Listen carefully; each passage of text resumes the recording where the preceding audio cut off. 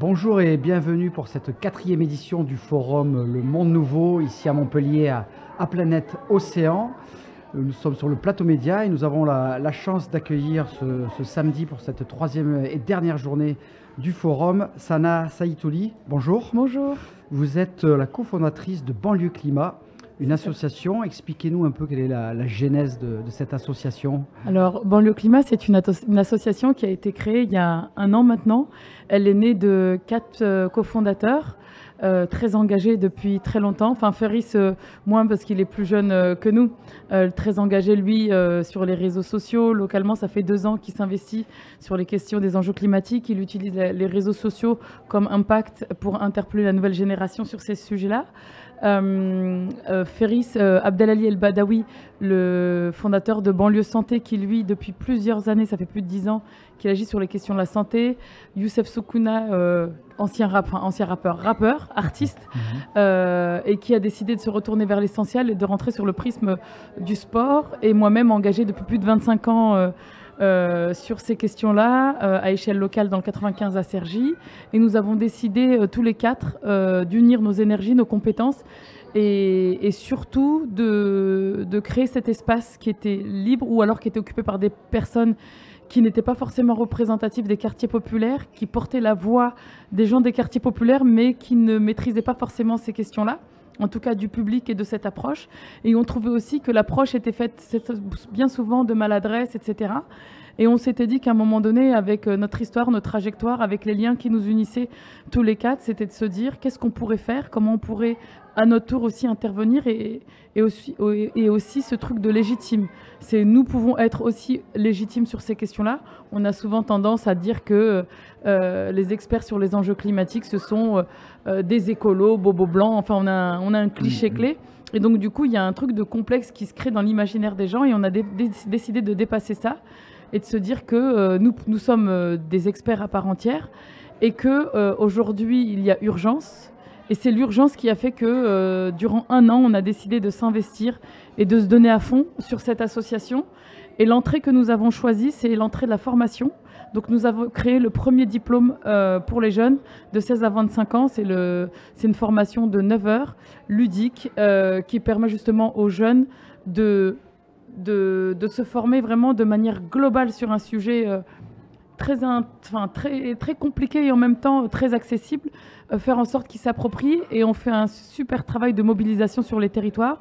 On va directement dans les quartiers, là où les gens ne vont pas forcément dans le fond.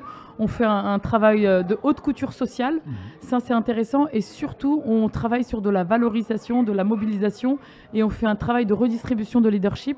Le principe de la formation, c'est de permettre aux jeunes de se former, de bénéficier de ce, diplôme et par la suite de devenir eux-mêmes des ambassadeurs, de former à, leur tour et de créer ce fameux flocon de neige vert qui va permettre justement de déployer, d'avoir un impact euh, sur les territoires. Cette sensibilisation sur le climat, ça fonctionne souvent, on pense que les quartiers populaires ne c'est pas leur première priorité, mais là, c'est. Alors, c'est exactement euh, ce que les gens pensent, mais c'est pas le cas parce que euh, nous sommes euh, les premiers concernés. je dis nous parce que nous venons de ces quartiers-là, les quatre cofondateurs et tous les publics que nous touchons aujourd'hui, et c'est pour ça qu'on en a fait un enjeu. Et on voulait démentir aussi cette règle-là qui, vise à dire que euh, les gens des quartiers ne se sentent pas concernés, pas du tout. Il y a beaucoup d'acteurs de terrain, beaucoup d'associations qui agissent sur ces sujets-là, qui font des choses extraordinaires. Et d'ailleurs, je pense même qu'il y a beaucoup de solutions que nous pouvons trouver dans les quartiers populaires. Faut-il encore y aller ou s'intéresser? C'est vrai qu'on euh, a souvent, moi j'aime dire que euh, banlieue, climat, banlieue, climat, rend visible l'invisible, et c'est aussi notre rôle. D'accord le climat et participe euh, au Forum du Monde Nouveau. Oui. Sur la thématique euh, Dialogue pour demain, sur l'éducation, la formation. Quel message vous avez fait passer alors c'est une première pour moi, euh, je connaissais pas du tout, euh, du coup je suis agréablement bien sûr, enfin surprise quoi.